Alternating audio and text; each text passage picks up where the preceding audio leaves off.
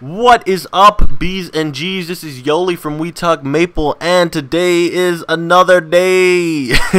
it's obviously it's another day. Um, uh, I'm making a uh, another video for the Luminous Road to level 70, and again, a lot of you guys have been wondering why level 70, why not level 60? Third job's level 60. That's because uh, you have to be level 70 in order uh, to transfer the Link skill uh, for Luminous. So yeah, I got to level 70.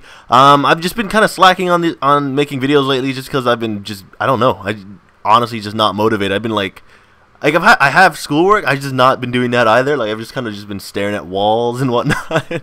been doing absolutely nothing. So I apologize for that. I'm gonna try to do uh, one of these luminous road to level 70 videos every day. Hopefully I can get them get it done before Kaiser comes out because I really want to do that before Kaiser comes out because that would suck if I still don't have all my luminous videos done. So anyways, let's let's just start. Let's just, let's just start this video. So from like level 30 to 32ish, I was just kind of doing uh, Mushroom Kingdom, really not paying attention too much, just, just grinding away. And I had to do one quest here, so I finished that up too. But uh, really didn't stick around too long. I left as soon as I was level 32, so really, really would not recommend staying here. So from level 32 uh, to 40, it really just in one spot. Uh, I was just here at CD's. Uh, although I did leave because uh, I didn't I didn't do this all in one day, level 30 to 40. I could have obviously. It's not. It wouldn't have taken that long. It was just uh, I was.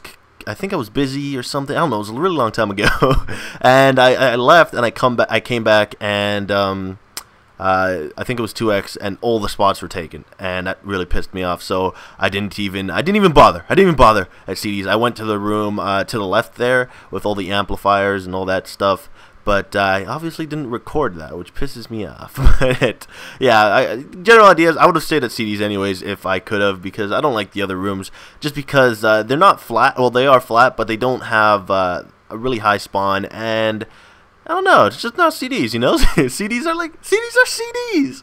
Can't just leave them cheating on CDs like that. I ain't about that. I ain't about that.